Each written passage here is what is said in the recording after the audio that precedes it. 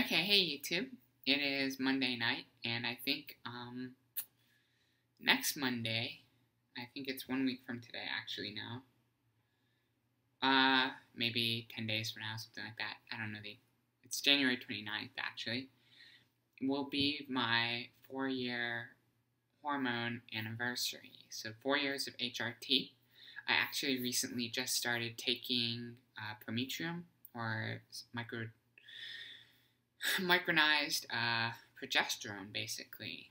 I'm trying to mix up the routine a little bit, see if I can't stimulate a little bit of breast growth, and um, you know, see if I can't get up to a B cup or something like that, rather than where I am right now.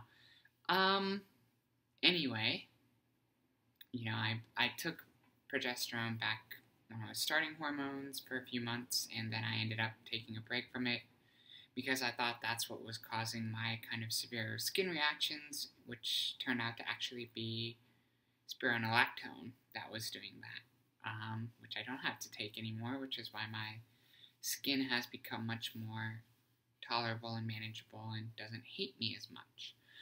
Um, all good things. So, like a week ago or so, I asked on my Facebook um, what I should talk about in my next video, and somebody asked me to talk about my expectations with transition and um, whether or not um, I'd sort of met them as a result of my transition.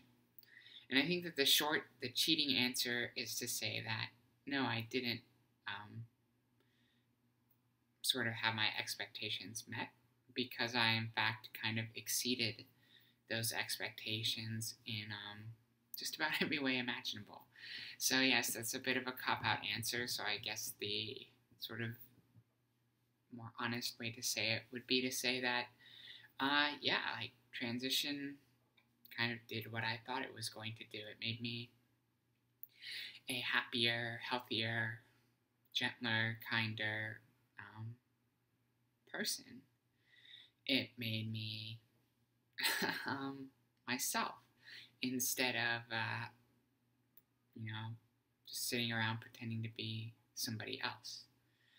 Um, but that said, a lot of the expectations that I had for myself, I didn't want to say that I set the bar very low, but I just didn't, um, you know, think that I would pass, for example, or pass well, um, or even be considered attractive. I still don't think that I pass all that well today. Um, I still don't think I'm that conventionally attractive today. Um, but I guess I do all right. Um, I don't think when I went into transition that I um, expected to get so much uh, like the relaxing, like the clarity, the um I don't think I understood the uh, the kind of benefit that you get from transitioning and then not having all of these doubts or these fears or these questions bouncing around inside your head like well what's going to happen when i transition? Or will i ever pass? Or as soon as I start hormones, everybody's going to be able to tell and they're going to disown me, right?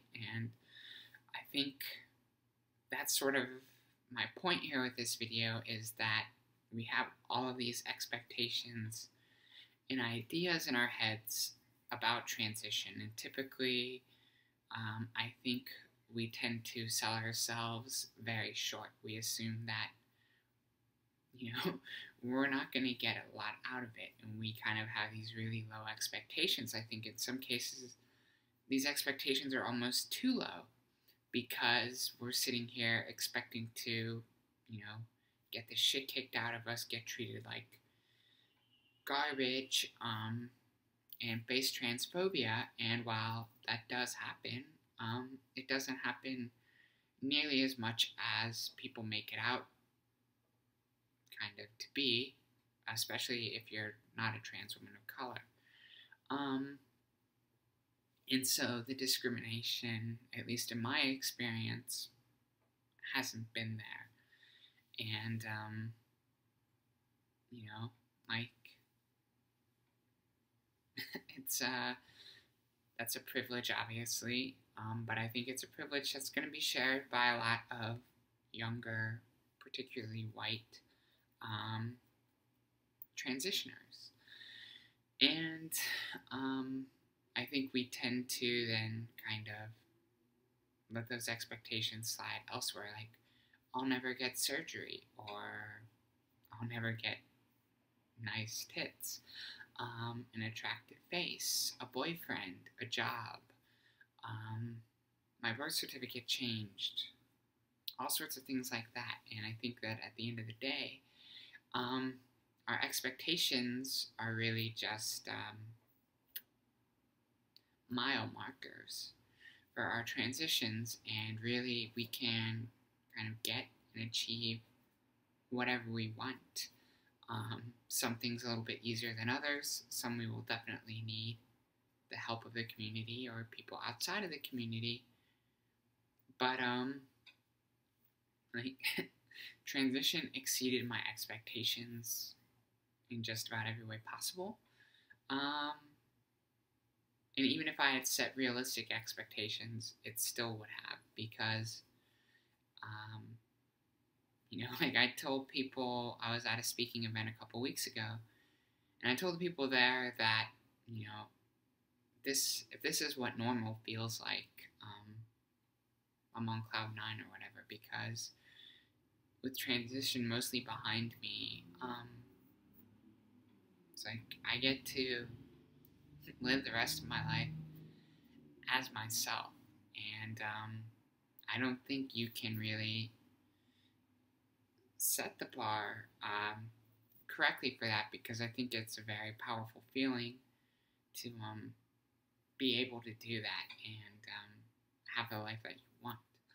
And once you get that, like anything is possible.